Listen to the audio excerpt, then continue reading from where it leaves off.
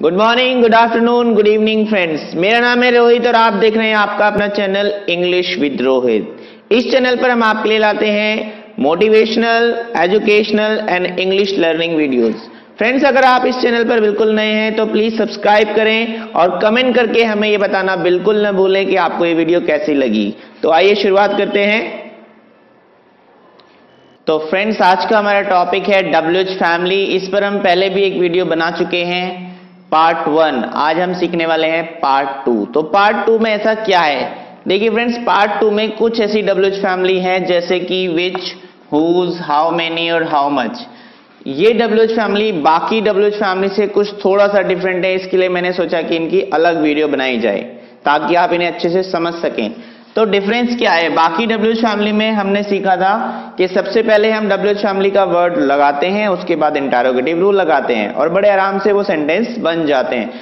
अब आपको इन चार डब्ल्यू फैमिली का ध्यान रखना है। One two three four which whose how many और हाउ मच क्या ध्यान रखना है कि ये डब्ल्यू फैमिली हमेशा किसी ना किसी नाउन के साथ यूज़ करनी है। जैसे कि रूल क्या बनेगा आपका? W H family word plus noun plus interrogative rule ये तो हमें ऑलरेडी पता है कि डब्ल्यू फैमिली के साथ इंटारोगेटिव रूल यूज़ किया जाता है। अब आपको जो ध्यान रखने वाली चीज़ है, वो है एक नाउन यानी कि इन शब्दों के साथ which whose how many how much आप जब भी इनका सेंटेंस बनाएँगे तो इनके साथ एक ना एक नाउन का होना ज़रूरी है। तो आइए एग्ज़ाम्पल से समझते हैं। हमारा पहला सेंटेंस है, तुमने कल कौन सा मोबाइल खरीदा? कौन सा कौन सी कौन से का मतलब होता है विच ये लिखा हुआ यहाँ पे। कौन सा कौन सी कौन से ठीक है? तो कौन सा के साथ हमने देखा कि सेंटेंस में एक शब्द आ रहा है मोबाइल ये हमारा नाउन है। कौन सा मोबाइल तो जब भी आप ट्रांसलेट करें तो ध्यान रखें विच के साथ हमेशा उसका नाउन होना चाहिए। तो हमने यहाँ पर विच लगाने के बाद मोबाइल लगाया जो कि एक नाउन है। विच मोबाइल और उसके बाद हमने देखा ये टेंस है पास्ट इंडेफिनेट और हमने पास्ट इंडेफिनेट का इंटारोगेटिव रूल लगा दिया। Which mobile did you buy yesterday ये आपका सब्जेक्ट है, खरीदना आपकी वर्ब है, और ये बचा आपका ऑब्जेक्ट तो which mobile did you buy yesterday तो इस नाउन का ध्यान रखना है, ठीक है? नेक्स्ट सेंटेंस लेते हैं हम। तुम किसके घर जा रहे हो? किसका, किसकी, किसके होता है हमारा हुज किसका, किसकी, किसके? इसके साथ भी आपको एक नाउन रखना है। तो सेंटेंस को अगर हम ध्यान से देखते हैं तो किसका, किसकी के बाद एक नाउन दिया गया है घर। तुम किसके घर जा रहे हो? हुज हाउस किसके घर? आर यू गोइंग ये हमारा इंटारोगेटिव रूल हो गया। और हमारा टेंस है प्रेजेंट कंटिन्यूस जिसमें कि इंटारोगेटिव रूल में इज़ एम आर फिर सब्जेक्ट फिर वब की आईएनजी फॉर्म यूज़ होती है। ठीक है?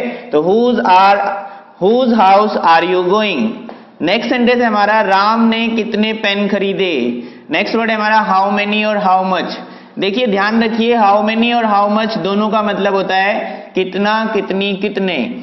लेकिन दोनों वर्ड्स में थोड़ा सा डिफरेंस है। हाउ मेनी काउंटेबल होता है और हाउ मच अनकाउंटेबल होता है। यानी कि जो चीज़ गिनी जा सकती है, उसके साथ आप हाउ मेनी लगाएँगे और जो चीज़ नाप तोल वाली होती हैं, जिनको हम गिन नहीं सकते, उनके साथ आप हाउ मच लगाएँगे? तो यहाँ पर बात हो रही है, राम ने कितने पेन खरीदे? तो पेन को तो हम गिन सकते हैं। एक पेन दो पेन तीन पेन ठीक है? तो हमारा सेंटेंस क्या बना? हाउ मैनी हमारा डबल फैमिली वर्ड आ गया सबसे पहले। उसके बाद पेन की बात हो रही है तो हाउ मैनी पेन्स हमारा नाउन हो गया। डिड राम बाय राम ने कितने पेन खरीदे? एक ही मात्रा, ये पास्ट इनडेफिनेट टेंस है और हमने उसका इंटारोगेटिव रूल यूज़ किया है। How many pens how many के बाद नाउन उसके बाद interrogative rule did Ram buy I think आपको समझ में आ रहा होगा। नेक्स्ट सेंटेंस है हमारा, तुम चाय में कितना दूध डालते हो? क्या हम दूध को गिनते हैं? एक दूध, दो दूध, तीन दूध, ऐसा तो नहीं होता। तो हम हाउ मैनी हाउ मच में से अब हाउ मच का यूज़ करेंगे जो कि अनकाउंटेबल होता है। तो हाउ मच लगा के हमने मिल्क लगाया जो कि हमारा नाउन है।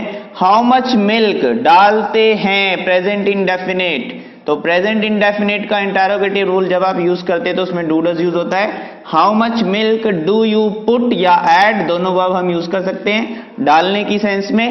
How much milk do you put या एड इन द टी आप चाय में कितना दूध डालते हैं? तो इस वीडियो को आप दो तीन बार देख लेना, अच्छे से आपको समझ में आ जाएगी। ये चार डब्ल्यू फैमिली बाकी डब्ल्यू फैमिली से कुछ अलग है डिफरेंट है। तो इसको डिफरेंट ही रहने देना। इसके साथ हमेशा एक नाउन का प्रयोग करना। तो आपका सेंटेंस कभी भी गलत नहीं होगा।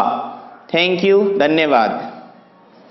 तो दोस्तों सब्सक्राइब करें शेयर करें इस वीडियो को अपने दोस्तों के साथ, ताकि वो भी इस वीडियो से फ़ायदा उठा सकें। और नीचे कमेंट करके हमें ज़रूर बताएँ कि वीडियो आपको कैसी लगी। ताकि हम और मेहनत करें, और बेटर वीडियोस आपके लिए लाते रहें। तो आज के लिए बस इतना ही। मिलते हैं एक नई वीडियो में, नई एनर्जी और नई जोश के साथ।